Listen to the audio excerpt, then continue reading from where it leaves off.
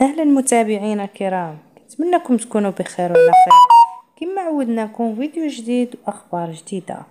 اليوم جينا نهضروا على المستجدات في قضية ديال سعد المجرد واللي هي الصراحة مستجد اللي هو زوين وزوين بطبيعة الحال.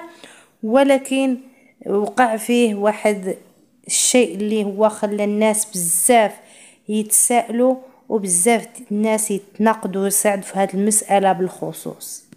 كما عرفتوا أن سعد تعطات له واحد الجائزة في ألف ديال ألفين وعشرين مهرجان الضيافة بطبيعة الحال.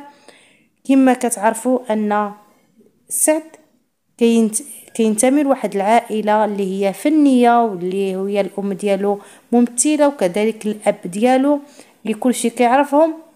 وكذلك كنشوفوا هنا بزاف ديال البلا ديال الحوايج اللي هو ممتن لهم لعائلته واللي كما صرح في المهرجان من بعد الأخذ ديالو الجائزه أنه كيشكر الأم ديالو الأولى بالخصوص والأب ديالو وجلالة الملك. هنا شفنا واحد الشكر والمتانة للأب ديالو والام ديالو وصاحب الجلالة بطبيعة الحال اللي ما نساهش.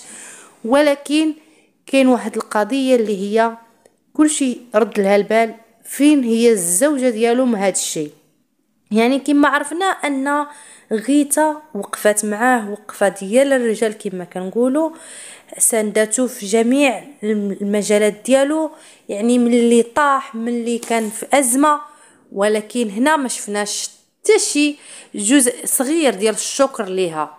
هادشي كامل يعني بحال ما دارت معاه حتى شي حاجة رغم أننا سمعنا بزاف الهضرة منهم بالخصوص أن كيقولوا أن غيتا معاه من شحال هذا يعني هي مسانداه وواقفه معاه. واش عندهم شي مشكل حد الساعة ولا شي حاجة اللي ما خلاتوش أنه يتفكر الزوجة ديالو اللي واقفة معاه؟ وقفة ديال الرجال كما كتعرفوا.